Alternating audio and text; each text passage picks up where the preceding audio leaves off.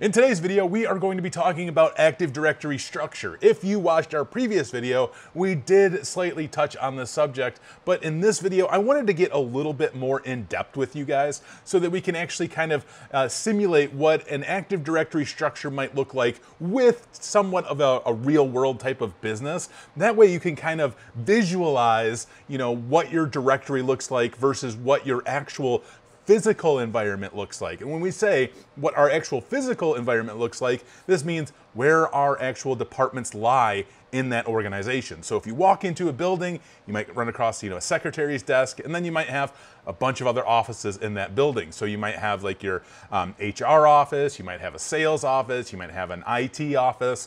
Now let's simulate this in Active Directory and talk about this so that way, hopefully uh, when you are going through Active Directory or stepping into an environment, you can also visualize your structure in Active Directory and then you can kind of relate that directly to the physical setup in that environment. So let's jump right over to our Active Directory screen. If you guys haven't pulled this up, go ahead and spin up your server and uh, go ahead and open up Active Directory users and computers. Now, in our last video, we talked about keeping our Active Directory structure very minimal. We only want a few uh, different OU folders in our structure because it makes things a little bit easier to manage in group policy. However, there's been plenty of environments that I've stepped into that have had many, you know, sub OUs, and it's maybe a little bit more difficult to uh, organize. It's maybe a little bit different or, or difficult to um, really have a good stranglehold, I guess, um, on that structure, especially when you're utilizing group policy. But it's still doable. We can still do it. It's just you know, we have to maybe jump a few extra steps to do uh, some different things in group policy, but that's it's not that big of a deal. So let's create our new structure here. And we're gonna be utilizing a new business. So what we're gonna do, I'll put business here on the screen. We got business. And now what we're gonna do in Active Directory is go ahead and create a new OU, organizational unit, right under itcq.local. So right under your domain, we're gonna go ahead and create a new OU, and we're just gonna call this OU underscore production. So if we, the reason why I put underscore, and this is like a hierarchy thing with, uh, with folders and stuff especially, um, you will, you guys are gonna notice that uh, anything that has uh, an underscore in front of it is listed first in a directory. And that's the same thing here with Active Directory. If we put an underscore there, it's going to be the first thing listed right under itcq.local after we did a uh, right click and refreshed on our domain there. So now we have production. So let's say, for instance, that our business is uh, located in the Sears Tower, or if you're you know new here it's the willis tower but it will always be the sears tower to me. It's in chicago. It was one of the largest buildings in the world for a really long time. Uh, not anymore but it's still a, a, a, landmark if you will in chicago where i'm from. At our business in the sears tower we actually have two floors. We rented out two floors for our business and we're going to say that we do like sales and engineering or something. So what we're going to do is put on here our first floor and our second floor. So we know we have two floors to manage. In Active Directory now, we could actually go under production and we're going to right click and we are going to create a new OU. And if you know what that new OU is going to be, good for you. It's going to be first floor. And then we're going to create a second OU and you should probably know what that is because it's the second floor. So now in Active Directory, you have it structured out for our first floor and second floor because again, we're renting out two floors in the Sears Tower. So now we can visualize in Active Directory, okay, well, we got our first floor and second floor. Well, what departments do we have, right? So for the sake of this video, I'm gonna go ahead and list our departments here. We have HR, which is human resources. We have IT, we have sales, and we have support and we have our management or our VPs. So we have HR, IT, sales, support, and our VPs in our organization. So what we can do in Active Directory is actually create OUs for all of these departments.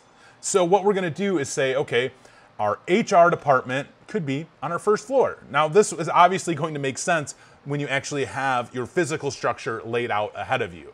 So we're kind of making this up as we go, and we're saying that our HR department uh, is on the first floor. So we're going to create a new OU under our first floor and call it HR. We also know that on our first floor, we have our VPs. So we can put VPs or VP, or you could put management. Let's just put management because it's the same thing. And now we can say on our second floor, well, that's where our sales team is. So we could put sales. And with our sales team, of course, it's probably a good idea to have our support team because your support team will often be working with our sales team. So we could put on here support.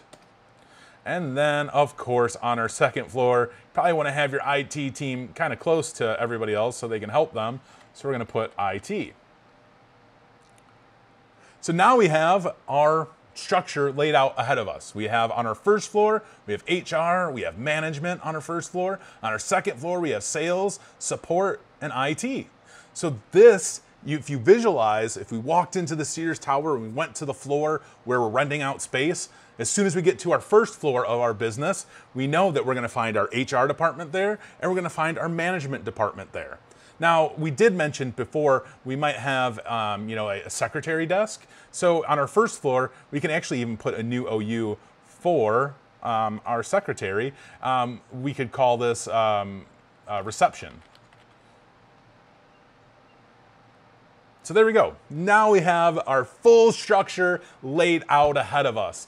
And now what we can do is actually start putting our users into these different OUs, into these different departments. So we can go down to our users and we can drill down in here and we can say, all right, well, uh, this Bailey, Barbara, Barry, and Barrett, they're all part of our HR team. So what we can do, we can highlight all of them. I'm just holding down control and clicking on all of them. And I'm just gonna drag them over to HR. And we're gonna hit yes. So when we go under production, we have no users. When we go under first floor, we have no users. But when we go under HR, we have our users that we just moved there.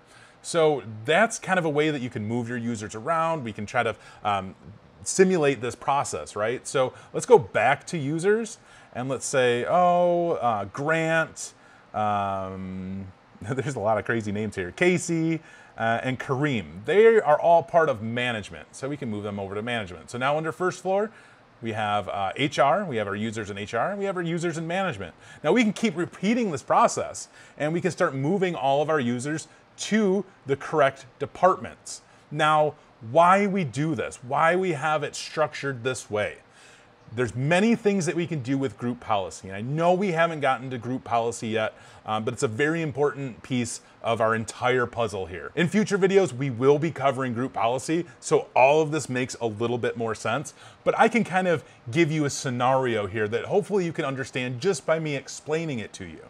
With our hierarchy of our folders here in production, we could push out a group policy, and group policy is something that really helps manage not only our users, but it can help manage our groups. It can help manage settings within um, our environment. So with production, let's say for instance, we had a specific uh, wallpaper that we wanted to push out. And this is actually very uh, uh, prevalent uh, throughout the industry. We might have just a specific wallpaper that we push out to every single computer in our environment. So under production, we could actually create a group policy that pushes out a specific wallpaper to all of our users under production.